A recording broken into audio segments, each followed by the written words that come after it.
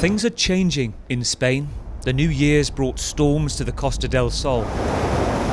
And there are new rules for British citizens living here or wanting to. It's been a Christmas odyssey from Warrington to Malaga for lifelong friends Jan and Sonia, who arrived days before the Brexit transition period ended. They're now living together with their husbands and five pets. Can be enough to make us fall out forever, couldn't it? Yes, but we've not. I think it forced our hands certainly with putting up the houses for sale and making that decision. It's a big decision, and you're going to give everything up at home to come and do this. And we did a lot of talking and a lot of thinking about this.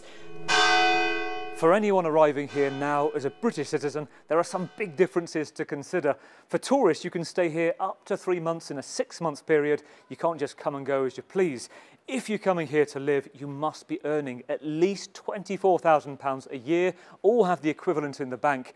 And British driving licences must be changed for Spanish ones. I never thought the UK would ever leave the European Eric Anderson, an ex-shipyard worker from Newcastle, has a second home in Lanzarote.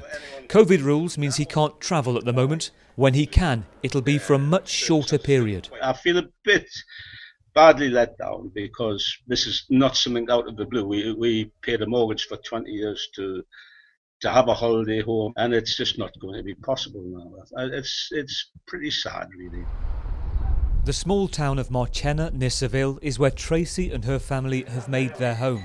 She left Hereford 16 years ago. My husband's Spanish, uh, my son Santi is Spanish and, and British.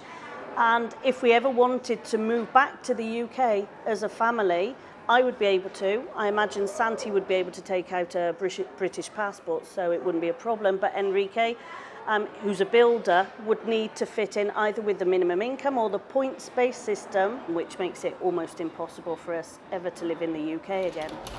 The latest edition of Euro Weekly, a newspaper for Brits living on the coast. The paper's owner says the deal will have a profound effect on so many lives. Pensioners have been quite happy living off the pension, a little bit of savings, having the menu del dia, feeling like it's a bit like Little Britain. Dobroggs, he's been coming here for 32 years. He's got a little van, he does a few removals, he does a bit of handiwork.